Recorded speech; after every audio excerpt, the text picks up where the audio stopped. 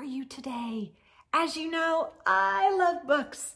I love good stories and I love sharing them with you. And I have a great story for New Year's Eve. It's called The Night Before New Year's. It's by Natasha Wing. She's written many of those night before, and we've read several of them. They're really good. And the illustrations, again, are by Amy Wummer. So I hope you like this one as much as I do. And again, remember to subscribe so you don't ever miss a story. Okay, let's get started. Twas the last day of December, what we call New Year's Eve. A whole year had flown by. It was hard to believe. I feel that way. Wow, where did the year go? We were pretty excited. Our puppy was too. We cheered out with the old and in with the new. Oh, please, I begged. Can we stay up till midnight? For this one special evening, my parents told us, all right. So we drove to the store to buy party supplies hats, horns, and poppers, and sparkly bow ties. At home, we put up all the streamers and balloons, silver glitter and gold stars to twinkle up our rooms. A banner was hung by the ceiling with care in hopes that baby New Year soon would be there. It says, Happy New Year! We gathered for dinner a grand late night feast. Mmm, pizza. Mm. All our family favorites. I ate three cupcakes at least. With a clink of our glasses, we all gave a toast, making New Year's resolutions. My dad had the most. But I couldn't come up with one single vow. That's okay, said Mom. You don't have to right now.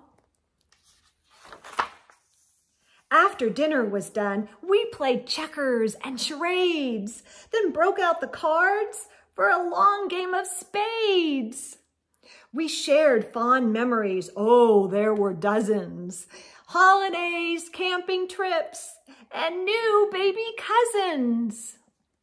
What would you think of when you think of the year? Mm. Eyelids were droopy, so we ducked out for fresh air. That's a good idea. Then came in to watch the crowd lining Times Square. One more hour, said Dad, till the new year is here. Put on your hats, said Mom. Let's practice our cheer. Counting down from 10, without a single mistake. We tooted horns and popped poppers. I was now wide awake. My brother chased our puppy all through the house. Then mom and dad noticed it was quiet as a mouse. Hmm. There was no sound of barking, no little boy chatter. So we sprang from the couch to see what was the matter when what to our wandering eyes should appear but two party poopers. Aww. Oh, make that three now. Oh dear. It's hard staying up that late. While our puppy curled up on my father's lap, my brother and I went upstairs for a five minute nap. Mm, five minutes. We both soon were nestled all snug in our beds, while visions of fireworks danced in our heads. The next thing I knew, it was sunny oh, and bright. Rats! We missed ringing in the new year last night.